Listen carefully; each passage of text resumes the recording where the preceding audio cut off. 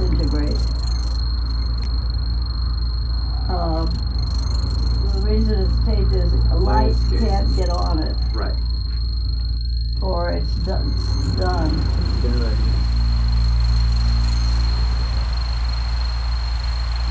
But uh, see, all of them are carefully, Yeah. carefully sealed up. It's like Christmas presents. Yeah, yeah.